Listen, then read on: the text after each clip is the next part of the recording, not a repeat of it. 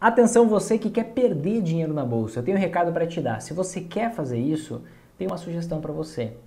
Analise gráficos para investir na bolsa. Considere, busque tendências. Olha para um gráfico, vê o desenho que ele faz e aí quando traçar uma tendência você vai lá e coloca o seu dinheiro. Assim é um meio muito rápido e muito fácil de você perder na bolsa. Talvez você acredite que precisa saber sobre gráficos para investir na bolsa, que você precisa saber antever o que vai acontecer, que você precisa estar por dentro disso.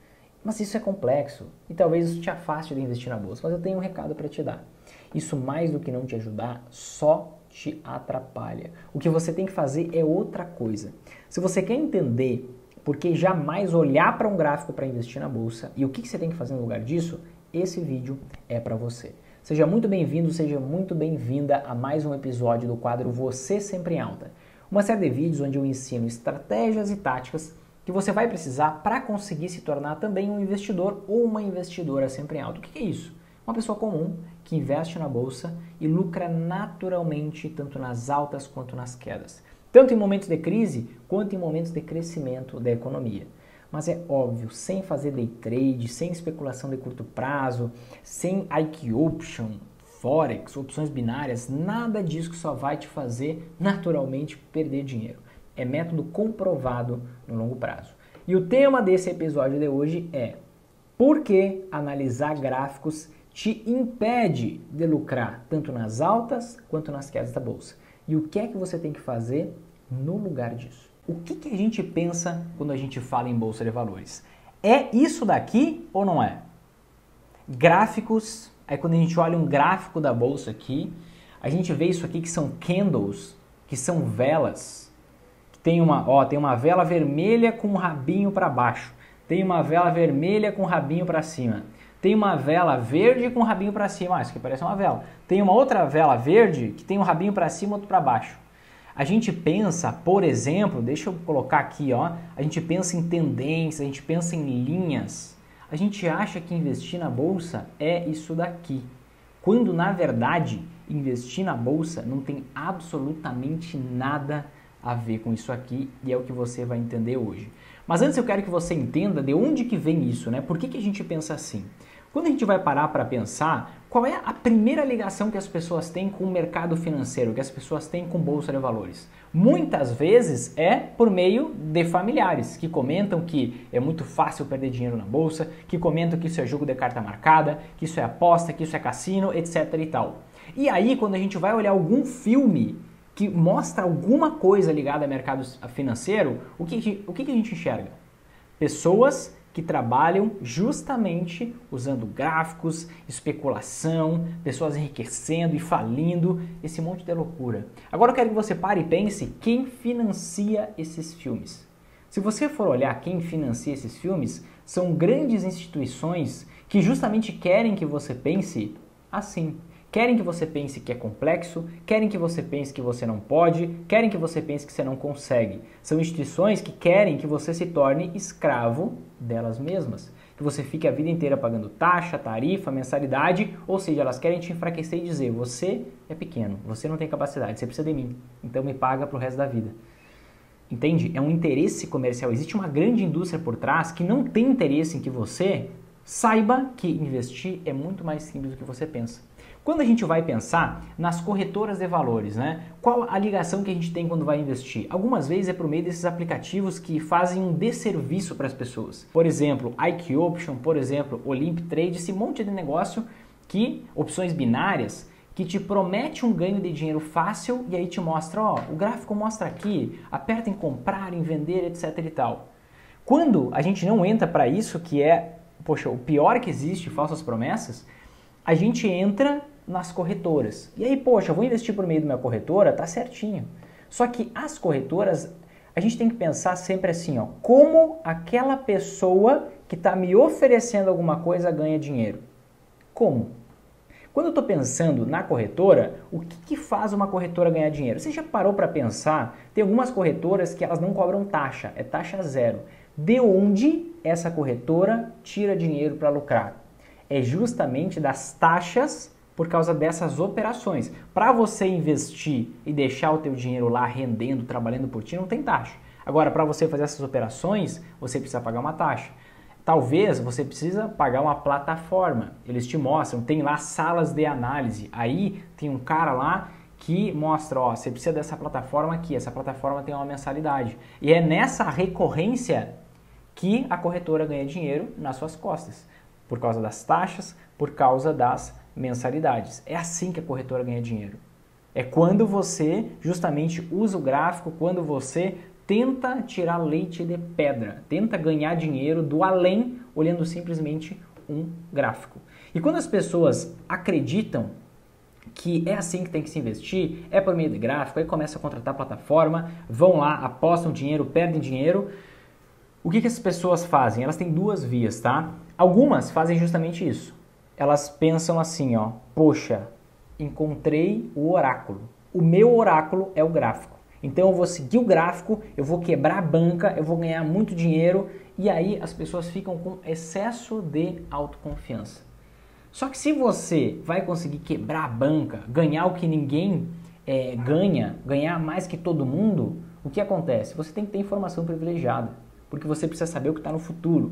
E só você sabe. Você é o, bom, bom, o bonzão, bambambam, bam, bam, e só você sabe, você tem essa crença de que você é melhor que todo mundo. Você sabia que mais de 80% das pessoas se consideram acima da média? Melhores que as outras? Sendo que só é possível 50% ser acima da média, mas a maioria das pessoas se acha acima da média. Então, se você pensa isso, você está incorrendo num grande erro, que é o excesso de autoconfiança. E se, poxa, você não tem excesso de autoconfiança, você só tem informações privilegiadas, aí você é um criminoso, uma criminosa, some daqui que não é live para você estar tá aqui. Mas tem a segunda via, que é, que é a via onde a maioria das pessoas acessa, que é a via da complexidade. Quando você olha isso daqui, ó, a reação natural das pessoas é olhar, meu Deus, esse negócio é complexo. Tem um rabinho para baixo, tem um rabinho para cima, tem uma cor vermelha, uma verde. Aqui estava subindo, daqui a pouco começou a cair. Depois estava subindo, aqui estava tudo certinho, depois voltou a cair. Aí tem essas linhas que se cruzam, meu Deus. E a reação mais natural das pessoas é o que? Abominar isso e dizer, bolsa de valores não é para mim. Ou seja, é perpetuar o ciclo que justamente essas empresas, sejam as corretoras, sejam os patrocinadores, essas grandes instituições, a indústria financeira, quer que você pense que você não é capaz, que você não pode, que você não consegue, por isso você precisa deles. Só que, é, para a gente investir na bolsa, a gente precisa passar por uma fase de amadurecimento. O que, que eu digo amadurecimento? É a gente pegar e cair na real mesmo. Como assim cair na real? A gente conseguir entender que quando a gente faz o que tem que ser feito, o que tem lógica, o que faz sentido, tudo muda. A gente tem que entender como as coisas funcionam. Se você quer terceirizar, quer delegar o seu investimento para alguém, você tem que ter a capacidade de tomar essa decisão. Você tem que entender como as coisas funcionam. E tenha certeza absoluta, eu já vou te explicar o que é um gráfico, mas tenha certeza absoluta que um gráfico não diz absolutamente nada sobre investimento. Tenha certeza absoluta que um gráfico não te aponta nem o que fazer, nem o que não fazer. Dá só uma olhada. Olha só o que aconteceu com a Karina, uma investidora sempre em alta que tinha essa crença. Olha o que ela diz, olha o que ela fala. Na época eu achava que era o bicho de sete cabeças, achei que eu não iria conseguir, né? Falei assim, ah, investir na uhum. bolsa a gente precisa ter tempo, e a gente sempre escutava um ou outro amigo falando assim, ah, mas só ganha dinheiro quem faz day trade, investimento uhum. curto prazo, dinheiro na bolsa a longo prazo, ninguém ganha dinheiro. Uhum. E eles falam assim, não, mas para você investir na bolsa você tem que acertar uma empresa. E aí eu queria procurar algo diferente, sabe? Uhum. Só que eu não tinha conhecimento. Então, assim, eu comecei do zero mesmo. Tudo que você explicou em todas as videoaulas foi muito importante. Falei, mas vamos ver se esse negócio vai dar certo, né? Mas aí a gente foi, enfim. Conseguiu ver na tua carteira que tu estava sempre em alta, que sempre tinha os investimentos ali é, se valorizando, tu fez dois rebalanceamentos. Como que foi a tua experiência em relação a isso? Tu conseguiu perceber na prática? Eu consegui. E o que eu achei mais bacana, eu falei, nossa, funciona. Eu falei, não pode, isso vai dar certo mesmo.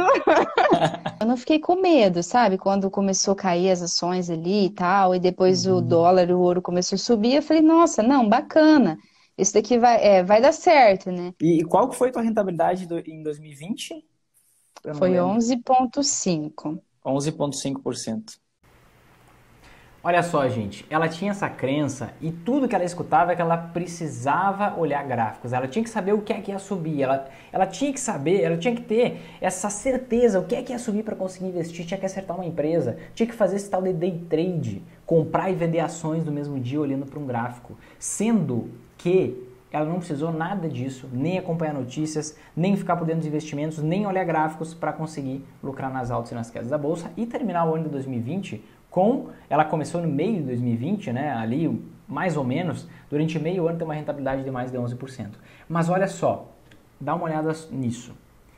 Por que não faz nenhum sentido você acreditar que um gráfico vai te mostrar alguma coisa? Poxa, Vinícius, você estava me mostrando um gráfico com aquelas velas e agora você mudou. Claro, para que, que eu vou te mostrar esse monte de coisa? Eu te mostro uma linha. Por quê? O que, que é um gráfico? Um gráfico, você pode ver aqui nessa linha, que é só o período de tempo. E aqui, ó, nessa coluna, é a rentabilidade ou eu posso mudar para o preço do investimento, tá? Então, um gráfico aqui, ó, ele só me mostra o que, que aconteceu no passado, o que, que aconteceu com o preço de alguma coisa. Deixa eu colocar aqui a ação do Itaú, tá? Tem o código ITUB4. Deixa eu até tirar isso aqui que só atrapalha.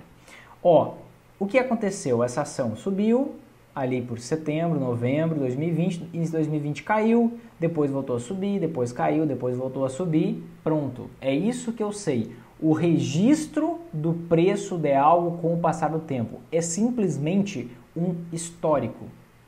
Por que, que eu digo que a gente tem que amadurecer para investir na bolsa?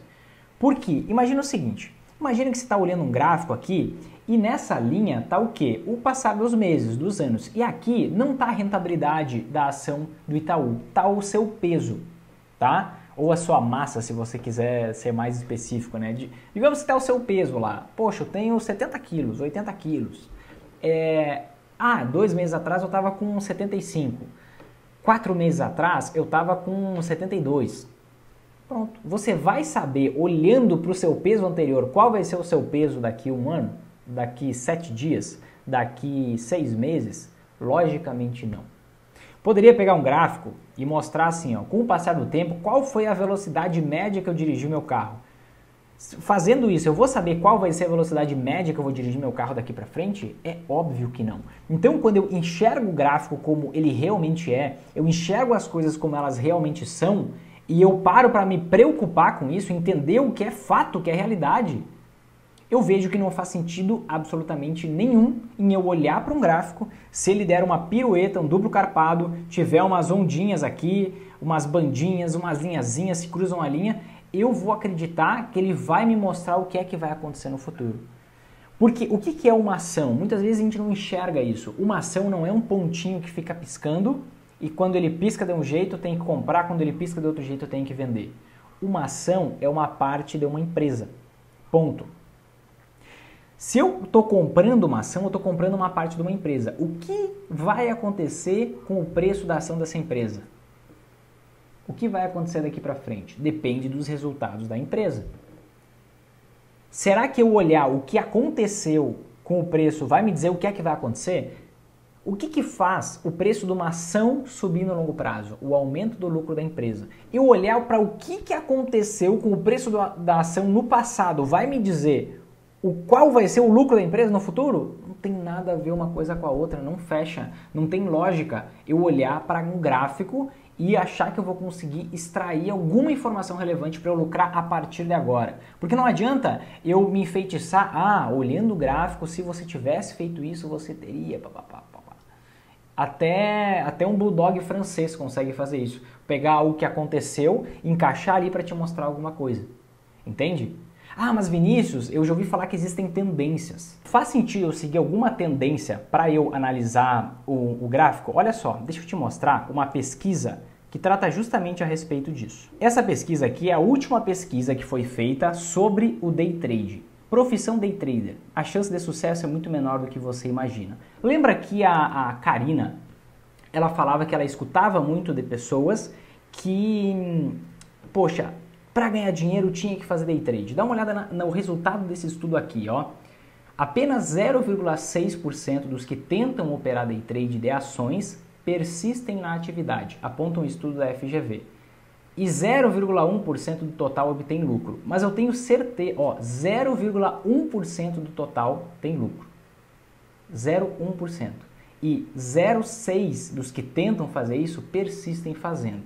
Se fosse algo que desse lucro, muita gente continuaria, só que 0,6% continua e 0,1% tem lucro. Olha só. Por que, que isso acontece, né? Aqui, essa, essa pesquisa da FGV, ela faz todo ano, essa aqui é a última pesquisa divulgada, tá? Em setembro de 2020. E aí, o que, que eles mostram? Como que foi feita essa pesquisa? Ó, o primeiro achado do estudo é que quantos indivíduos foram pesquisados, foram analisados? 98.378 indivíduos, tá? Pessoas que fizeram, isso que eles pesquisaram, começaram a fazer day trade. O que é day trade? Comprar e vender ações no mesmo dia com o objetivo de tentar ter algum lucro, alguma rentabilidade, tentando olhar para o gráfico e ver se o gráfico ia apontar o que é que ia subir, o que é que ia cair. Basicamente, isso é o day trade. Eu olho para o gráfico, vejo o que, que eu acho que vai acontecer com base em desenhos que o gráfico faz, em linhas que se cruzam, etc e tal, e aí eu vou lá e aposto que aquilo vai dar certo. E aí, olha só, eles fizeram essa pesquisa com 98.378 indivíduos, tá? Que começaram a fazer day trade em ações no Brasil entre 2013 e 2016 e operaram até 2018. Apenas 554 desses 98 mil fizeram essa operação, comprar e vender no mesmo dia, e mais de 300 pregões. O que, que são pregões, gente? 300 pregões não são nada mais nada menos que 300 dias em que a bolsa de valores está aberta. Como assim 300 dias em que a bolsa está aberta? A gente consegue investir na bolsa de segunda a sexta e quando tem feriado também a bolsa está fechada. Então, por exemplo, num ano vão ser são 252 dias úteis aproximadamente, né? Depende de quantos feriados tem. Mas é mais ou menos isso. Então isso aqui, ó, 300 pregões equivale a um ano e dois meses, mais ou menos tá? Então, de 98 mil pessoas, 554 continuaram por um ano e dois meses. A imensa maioria, 99,43%, não persistiu na atividade, tá? A primeira informação relevante para que alguém esteja interessado em viver de day trade, a taxa de desistência parece ser extremamente alta. Se fosse algo bom, muita gente continuaria fazendo, faz sentido? Se é algo que dá resultado, muita gente continuaria fazendo. Só que olha só, entre os 554 persistentes, entre as 554 pessoas que continuaram fazendo o day trade, qual foi o resultado delas? O resultado bruto diário, o que é bruto? É sem descontar imposto de renda. Tinha que pagar imposto de renda se tivesse lucro, né? Sem descontar aqui taxas, mensalidades que a pessoa pagou. Nada. O resultado bruto foi de 49 reais de prejuízo em média, certo? Ainda olhando essas 554 pessoas que seguiram fazendo esse day trade, 127 conseguiram lucro bruto sem descontar imposto da renda, teria que descontar imposto da renda, taxas, mensalidade, tudo isso, tiveram um lucro bruto diário médio acima de 100 reais.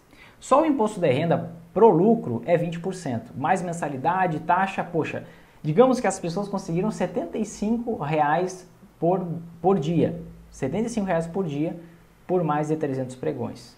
E 76 pessoas conseguiram aí um lucro maior, um lucro médio acima de 300 reais diários, certo? E aí teria que tirar aqui 60 reais de imposto de renda, mais alguma coisa de taxa, vai ter ganhado aí é, um pouco mais de 200 reais por dia. Isso 76 pessoas de um universo de quantas? Deixa eu voltar aqui. Onde está? Aqui, ó. 98 mil pessoas pesquisadas tá? E tem mais coisa, ó. Deixa eu só encontrar aqui. Isso aqui representa menos, na verdade, de 0,1% do total, né? Essas 76 pessoas. E tem um, um, outra justificativa, ó. Aqui, ó. Muita gente, muita gente alega, deixa eu até aumentar aqui, ó. Muita gente alega que essa grande esse grande percentual de pessoas que perde dinheiro especulando na bolsa, olhando para gráficos, fazendo day trade, esse tipo de coisa, essas pessoas alegam que, poxa, essas perdas vêm porque as pessoas elas estão recém aprendendo o que elas têm que fazer. Então, as, as pessoas dizem que existe uma curva de aprendizagem. No início, eu começo perdendo porque eu ainda não sei direito o que fazer. Mas à medida que eu pratico, que eu faço isso, eu vou melhorando os meus resultados. E essa pesquisa aqui, ó, ela justamente mostra o oposto. Ela comprova o contrário. Olha só. É comum em diversas atividades que a prática leve a um aprimoramento das atividades e melhor resultado, certo? Não no day trade, segundo a pesquisa. Olha só, calculando o lucro bruto médio diário dos 554 traders que persistiram por mais de 300 pregões, ou seja, um ano e dois meses fazendo isso, mas excluindo as primeiras 200 sessões, os primeiros 200 dias, poxa, 10 vezes de aprendizado, existe uma ligeira piora no desempenho. A média de prejuízo aumenta para 91 reais por dia. E a mediana continua em 62. Aqui vamos considerar a média, não precisa a gente considerar a mediana. Então, o prejuízo médio, englobando todo mundo, era de 49. Esse prejuízo quase dobrou para 91 reais por dia. Entende? E aí aqui eles, é, eles evidenciam que. Agora não sei onde é que está aqui. Eles evidenciam que isso aqui provavelmente é as pessoas querendo recuperar as perdas que tiveram no início. Acaba apostando mais, apostando mais, apostando mais e naturalmente apostando mais, elas acabam perdendo mais dinheiro. Então, poxa, esse é o ponto 1. Um. um ponto que eu queria te mostrar que essa fama, esse monte de anúncios que a gente vê por aí sobre day trade, que dá para ganhar dinheiro só apertando um botão ou outro, as pesquisas mostram o contrário. Existem entidades que querem que você creia que dá certo. Uma pesquisa com 98 mil pessoas mostra que não existe. Mostra que 99,9% das pessoas perdem dinheiro. Se a gente for olhar em 2020, foram 2 bilhões de reais perdidos no day trade. Dá só uma olhada aqui, ó. De acordo com informações da CVM, o que é a CVM? É a Comissão de Valores Mobiliários, tá? É o órgão supremo do mercado financeiro que fiscaliza os investidores, que fiscaliza as empresas, que vê se está tudo ocorrendo dentro da lei, tá? E a B3 nada mais é que a nossa, o nome da nossa bolsa de valores aqui no Brasil. Segundo esses dados da CVM e da B3, somente em 2020 as operações de day trade resultaram em um prejuízo de 2 bilhões. Gente, é com B de bola. 2 bilhões para os investidores, para os apostadores né, que atuam na Bolsa de Valores brasileira. Então é muito dinheiro fora e você pode fazer parte dessa estatística ou não, depende das decisões que você tomar. Só que eu quero te mostrar uma outra coisa. Isso é uma comprovação e contra fatos não há argumentos. Mas talvez você pense assim, ó, eu não vou fazer parte dessa estatística. Eu vou ser parte dos, quem sabe, 0,1% que conseguem lucrar fazendo isso. Só que eu quero que você reflita o seguinte: quando a gente olha no decorrer da história, eu quero que você tente identificar qual foi o momento em que uma tendência funcionou. Em que uma tendência funcionou. Olha só o que eu vou te mostrar agora. O que eu estou te mostrando agora nesse gráfico nada mais é do que o índice Bovespa. O que é esse tal de índice Bovespa? O índice Bovespa é um índice que calcula a rentabilidade média das ações brasileiras. Funciona como um termômetro das ações, tá? Se as ações, os preços das ações estão subindo aqui no Brasil, essa linha aqui ela vai para cima. Se os preços das ações estão caindo, essa linha aqui vai para baixo. Deixa eu colocar em percentuais aqui. Ó, e aí você consegue ver o percentual de rentabilidade. Aqui, ó, você consegue ver o percentual de rentabilidade do período. Então, o que, que, seria uma tendência segundo essa forma de analisar, essa análise técnica? Seria o que?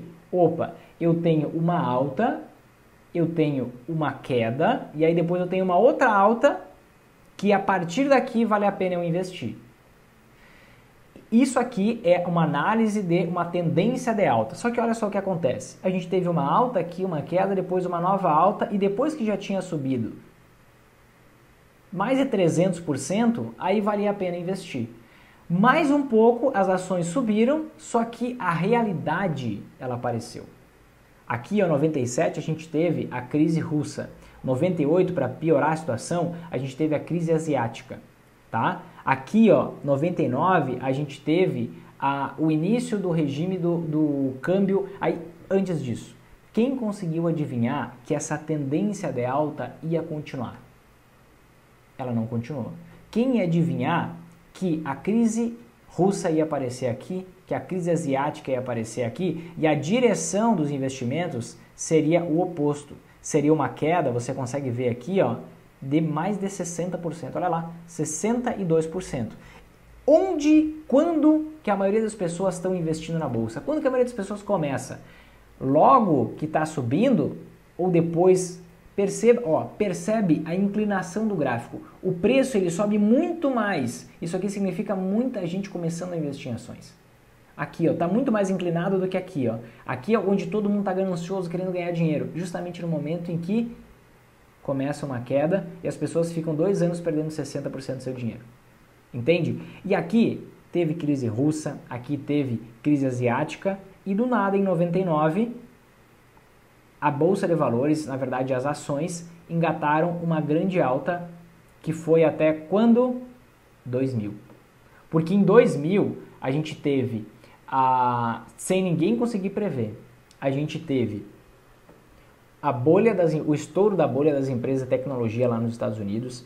A gente teve, nesse mesmo período de tempo aqui, a crise de racionamento de energia, e aí se espalhou, ó, 2000, 2001, 2002. A gente teve crise da Argentina, crise de racionamento de energia aqui no Brasil. Não sei se você lembra, mas da época do apagão, que todo mundo tinha medo, meu Deus, vai acabar a energia no país inteiro. E aí a bolsa, as ações, na verdade, engataram uma queda de quanto? Mais de 50% durante todo esse período de tempo. Quem conseguia prever que ia acontecer aqui em 2000 o estouro da bolha das empresas de tecnologia lá nos Estados Unidos? A crise da Argentina, que afetaria o mercado aqui no, no Brasil, as empresas, que ia ter o apagão, que ia ter esse medo do apagão. Quem imaginaria aqui, ó, aqui também tinha um temor, um medo muito grande de que o Lula fosse presidente do Brasil e o Brasil virasse socialista, comunista, o que fosse. E aqui, todo mundo nesse momento, imagina o medo. Crise argentina se espalhando aqui do lado, racionamento de energia, Lula como presidente, todo mundo acreditava que, meu Deus, vai acabar o Brasil. Só que olha o que aconteceu depois disso com as ações. Olha o que aconteceu. O maior ciclo de alta da história das ações brasileiras. Chegando a subir mais de 700% nesse período. Quem ia prever isso? Todo mundo achava que as ações iam continuar caindo e quem sabe o Brasil fosse virar Cuba. E aí as ações subindo, subindo, subindo, subindo. Quanto mais o tempo passa, ó, mais as pessoas ficam com vontade de investir, mais querem. E quando mais íngreme está, mais gente está investindo, vem o quê? Estouro da bolha imobiliária americana, que faz as ações caírem rapidamente 58%, no medo do que pudesse acontecer com o mundo, com a economia mundial. Do nada, do além, sem ninguém conseguir prever, as ações voltam a subir até lá em cima, recuperando quase todas as perdas, e aí todo mundo pensando, meu Deus, está tudo certo. Agora o ritmo é para cima. Agora a gente só vai lucrar, só vai subir. E o que acontece? Acontece seis anos consecutivos de queda na bolsa, se prolongando de 2010 até, vamos voltar aqui, até 2016, gerando uma queda de quase 50% é queda atrás de queda. Aqui foi, a, se a gente for olhar aqui, ó, 2011, o que aconteceu em 2011, 2012? Teve a crise das economias europeias. Lembra da Grécia quebrando, Itália falindo, várias, várias, vários países com vários problemas financeiros. Aqui, ó, 2014 2000, a 2016, a gente teve a maior crise econômica da história do Brasil República até então. A maior de todas, certo? E do nada, 2016 acontece o quê? Um impeachment. Quem ia saber que aconteceu um impeachment no Brasil? E por conta disso, por causa das mudanças econômicas que aconteceram desde lá, as ações que estavam em queda e não se via uma luz no fim do túnel, as ações sobem pra caramba até 2019, quando tinha mais gente entrando no investimento em ações, simplesmente vem uma nova surpresa e faz as ações desabarem rapidamente 40 e 3% aproximadamente. No medo, com medo do que isso poderia gerar. E hoje a gente já voltou e até superou um pouquinho para o mesmo patamar de preço das ações lá no início de 2020, lá no fim de 2019, sendo que o mundo, a economia, está muito pior e muito mais frágil do que antes. Isso aqui tudo na especulação, na aposta de que tudo ficou para trás. de que não vai dar nenhum problema. Só que o que aconteceu aqui, ó, é exatamente o que aconteceu aqui em 2008. Uma grande queda baseada no medo, seguido de uma alta na especulação de que tudo ficaria bem, todo mundo tranquilo, feliz, só que depois isso aqui é especulação. Isso aqui ó, é a realidade vindo à tona. Seis anos de queda, crise econômica no país. Vinícius, você está agorando o Brasil dizendo que vai ter uma crise ainda maior do que a de 2014, 2016? Eu não estou agorando, eu não estou dizendo que vai acontecer, estou dizendo que pode. E a gente aqui é adulto, a gente é maduro. A gente não vive olhando unicórnios, querendo ganhar dinheiro, dando um clique, dois. Não, a gente tem que entender como a realidade funciona. É o futuro das nossas famílias que está na nossa mão quando a gente está investindo. Entende? E o que está acontecendo aqui na prática agora? As ações caíram muito em 2020 e subiram tudo de volta na especulação. A economia está muito mais frágil que em 2019 2020.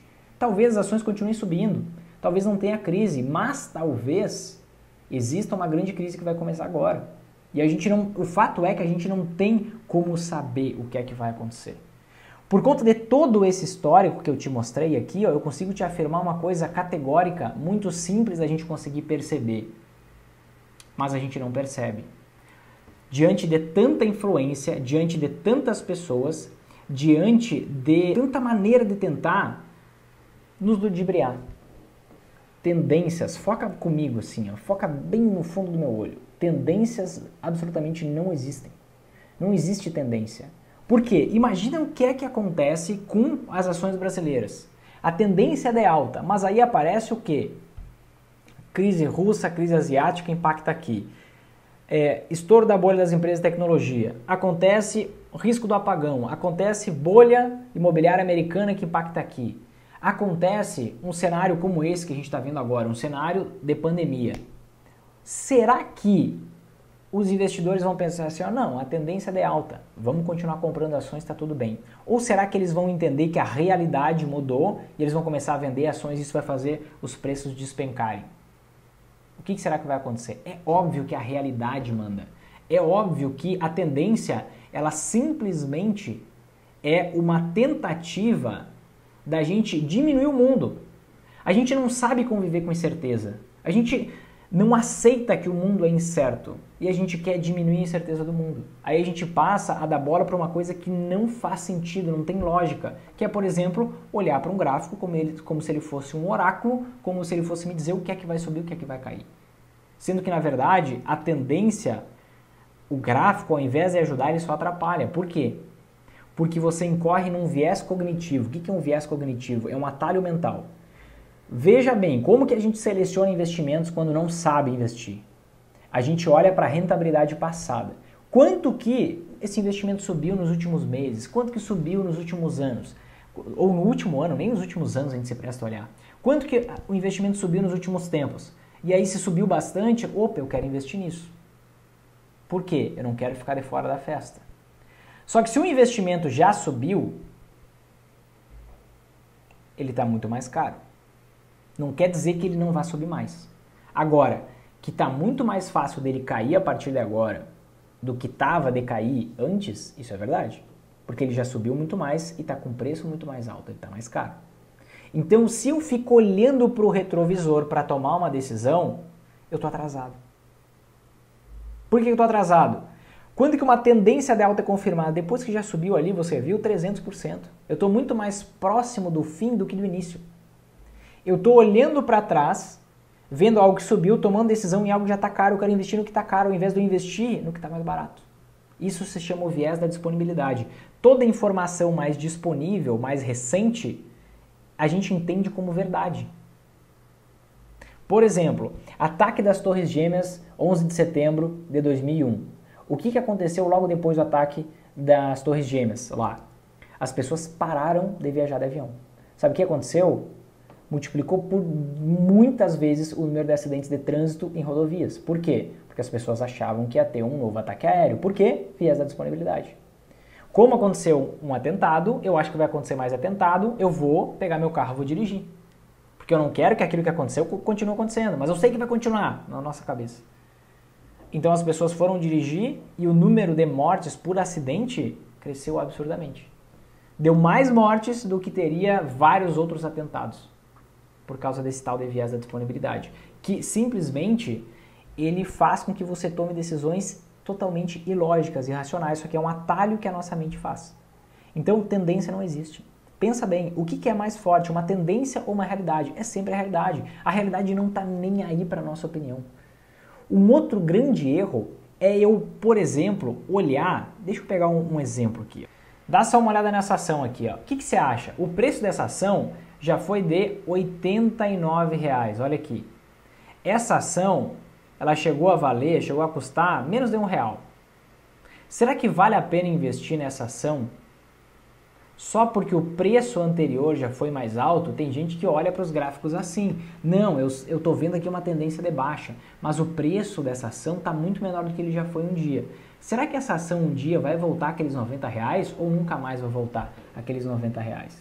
O fato é que não tem como eu prever olhando para o gráfico, porque o preço de uma ação no longo prazo é definido pelo lucro da empresa. Essa empresa aqui, ó, ela já foi lucrativa um dia, só que a realidade dela mudou para caramba. E o gráfico só me mostra o que já aconteceu com o preço, não o que vai acontecer. E se você toma uma decisão com base em, poxa, chegou nesse momento aqui, ó, essa é a chamada estratégia do preço médio. Poxa, chegou nesse momento, imagina só, ó, lá em 2012 ela estava com o preço de 89 reais, mas lá em 2014 o preço estava 35, caraca, isso aqui já caiu mais de 50%. Então eu vou entrar, vou comprar aqui. Se eu usar isso para eu investir, e eu tenho vários alunos, eu falo, eu comento isso porque eu tenho vários casos de alunos que antes de entrar, de ter o meu acompanhamento, eles investiam assim. E aí de 35 simplesmente foi para um para um real. Hoje está em 1,70 essa ação aqui, é um exemplo de uma ação da Oi. Então, o gráfico ele nem te aponta que é uma tendência e também não adianta você olhar para o preço que uma ação uma ação, o preço que ela já teve um dia, olhar para hoje e ver que está menor, ah, eu acho que isso aqui é uma boa oportunidade de investimento. O gráfico ele não te diz absolutamente nada. É por isso que muita gente não entende e fica até assustada quando eu explico, quando eu falo que não precisa olhar para absolutamente nenhum gráfico para investir. Inclusive é melhor do que não olhe. Porque senão você está fazendo o seguinte: você está dirigindo para frente, você está querendo dirigir, está fazendo uma viagem e está olhando lá no para-brisa. Isso é o normal. De vez em quando você olha para o retrovisor para ver o que, que vem atrás. Só que se você fica olhando para gráfico, você está dirigindo para frente, sempre focado no retrovisor. Sempre olhando para o retrovisor. É óbvio que você vai bater. É óbvio que você vai ter uma colisão. É óbvio que você vai perder dinheiro. É um processo natural. Faz parte. Entende? E talvez agora você possa pensar o seguinte: Poxa, mas Vinícius, como é que eu vou investir sem ter nenhuma previsibilidade? Sem eu saber o que é que vai subir? Eu não vou apostar o meu dinheiro, porque senão, e se eu perder esse dinheiro? O que, que eu faço? É aí que mora o problema, sabe? Aqui que mora o problema porque a gente não sabe lidar com a incerteza. Por isso que a parte emocional na hora de investir é muito importante. Eu preciso ter um método cl claro para eu saber o que fazer e eu preciso ter emocional para eu saber lidar com a incerteza. A maioria das pessoas prefere se enganar. Ela olhar para um gráfico, olhar para o retrovisor tomar uma decisão com base no futuro. Ela olhar para a estrada que ficou para trás e achar que por ter atrás vai ter a mesma curva na frente, ou vai ter uma curva diferente, que seja. A gente reduz a realidade num gráfico. Isso muitas vezes a gente replica o que a gente faz na nossa vida como um todo. A gente encontra um problema, incerteza na bolsa, e o que, que a gente faz? A gente foge do problema, a gente corre fugas. Né? Várias são as fugas que existem, vários os vícios que existem. A gente quer transformar, olha que louco, o mundo é o mundo. Eu não tenho que contestar o mundo mas a gente quer contestar, transformar o mundo num lugar menos incerto, sendo que isso não tem como. E a gente pega e olha para um gráfico para ter uma falsa sensação de segurança que a gente sabe que vai acontecer. Sendo que, na verdade, essa sensação de segurança me gera uma maior autoconfiança, me gera uma maior autoconfiança. Talvez, se eu for apostar olhando para um gráfico, eu ganho dinheiro no início, eu vou lá e coloco muito mais dinheiro, como eu sei de, um caso recente, que a pessoa foi lá, colocou 250 mil reais e perdeu 250 mil reais. Tenho alunos, por exemplo, tem um, um casal de alunos que eles perderam 350 mil reais fazendo isso. Porque tiveram ganhos iniciais. Então é melhor que você perca logo de cara. É melhor perder logo para parar logo. Porque a gente está se enganando quando olha para gráfico. Eu estou olhando para uma para o que não é a realidade, uma realidade diminuída. Eu transformo o mundo incerto em um mundo fantasioso. E aí eu quero ganhar dinheiro. Então você tem que entender uma coisa, o mundo ele é incerto. Não tem como você saber o que é que vai acontecer daqui para frente, seja por um gráfico, seja por qualquer outra coisa. Não tem como saber. Ao invés de querer reduzir a incerteza do mundo, o que você tem que fazer é aprender a viver num mundo incerto. Olha para sua vida e pensa em como era a sua cabeça cinco anos atrás. Você pensava que a sua vida seria do mesmo jeito que ela realmente é hoje? A maioria das pessoas vão dizer que não. Por quê? A gente não consegue saber o que, que vai acontecer. Pensa cinco anos atrás se a gente imaginava um cenário como esse. Pensa se, vo se você imaginava que hoje ia estar pesquisando sobre Bolsa de Valores. Pensa em todas as transformações que a tua vida fez. Porque é incerto. Ao invés de eu querer reduzir a incerteza do mundo, eu tenho que saber viver nesse ambiente de incerteza. A gente tem que destruir essa mentalidade maldita que nos diz assim, ó, que nos martela essa pergunta: o que é que vai subir agora? Qual investimento que vai subir agora? Porque a grande verdade, e a gente aqui é adulto, a gente é maduro, não tem criança aqui, a gente não sabe o que vai acontecer no futuro. E você pode acreditar em vários gurus que vão te prometer milagres e está tudo bem, vai lá. Eu estou aqui para combater isso. Eu quero te mostrar maturidade na forma de investir. E você pode ir com essa galera ou você pode investir de uma forma madura, sabendo que não tem como prever o futuro. Agora, tem como você se expor aos investimentos para conseguir ter rentabilidade tanto nas altas quanto nas quedas da bolsa. Isso tem como fazer. Só que aí você foca não no que vai subir ou no que vai cair, você foca na forma como você investe. A única coisa que você controla, em como você se expõe aos investimentos, porque é isso que vai gerar resultado. Saber o que é que vai acontecer no futuro, não tem como. Então, ao invés de olhar para gráfico, ao invés de ficar olhando aquilo que não faz sentido, o que, que você tem que fazer? Você vai selecionar uma ação para investir, você tem que olhar os fundamentos daquela ação. Você tem que olhar os indicadores daquela empresa. Bom, o que, que faz o preço de uma ação subir no longo prazo? Com intervalo de tempo de 5 anos ou mais. Só nesse prazo faz sentido investir na bolsa. Não quer dizer que você tenha que esperar 5 anos para ter rentabilidade. Geralmente vai vir bem mais rápido, mas você tem que estar tá focado nisso, senão você vai ganhar a migalhinha. Os maiores ganhos vêm com o passar do tempo. O que acontece? Se você é, analisa os indicadores, você vê se aquela empresa é rentável ou não, se ela dá lucro ou não, se ela aumenta seu lucro ou não, porque isso é o que vai fazer o preço mudar para cima ou para baixo. Você vai ver como é que está o endividamento daquela empresa. Para ver se vier um cenário de crise, ela vai ser um grande risco para você ou não. Você vai ter que ver quanto que você está pagando por aquela ação. Se você está pagando muito dinheiro ou pouco frente ao lucro que aquela empresa gera. Você vai focar naquilo que é rocha, naquilo que é base, naquilo que tem fundamento lógico, racional. Não em uma diminuição da realidade por a gente não saber lidar com a incerteza. A gente tem que parar de fugir do problema, tem que encarar ele de frente. O mundo é incerto. Eu não consigo prever o futuro. Como que eu faço para ter resultado nesse cenário? E não me esconder, não, eu consigo, eu consigo saber, eu consigo ter alguma visão do que vai acontecer no futuro. Não faz sentido algum. Imagina você ir lá e você plantar uma árvore que é que ela cresça logo. Aí você fica olhando para a árvore, você fica mexendo na terra, você fica fuçando ali. Essa árvore vai crescer mais rápido? Não vai. Imagina que você faz o seguinte: você rala o joelho, você cai, tá jogando futebol, tá brincando com seu filho, sei lá, com a sua filha, e você tá fazendo alguma coisa, tá caminhando numa escada, cai e rala o joelho. Você ficar mexendo lá no machucado vai fazer ele curar mais rápido? Não vai. Investir é a mesma coisa. A lógica de investir é o quê? Colocar o teu dinheiro dentro de uma máquina, essa máquina é a metodologia de investimento, é a, a Magar, para quem é um investidor sempre em alta, é uma combinação de investimentos que vai te fazer ter resultado. Então você coloca dinheiro nessa máquina e o que, que você faz? Você vai fazer qualquer coisa que você quiser na sua vida. Você vai trabalhar mais para aportar mais dinheiro, você vai curtir a sua família, você vai assistir Netflix, você vai fazer uma viagem, você vai, não sei, você vai fazer qualquer coisa, menos ficar enfurnado trabalhando pelo dinheiro. Porque a lógica de investir é colocar o teu dinheiro a trabalhar por ti. Se você ficar só fuçando nesse troço, ele não vai crescer mais rápido, ele não vai dar resultado mais rápido. Você precisa focar na tua exposição. Esquece quanto que a taxa Selic subiu, quanto que a taxa Selic caiu, qual que é a inflação, se está subindo, se está caindo. Se você depende disso, você sempre vai estar tá atrasado. Sempre vai estar tá atrasada.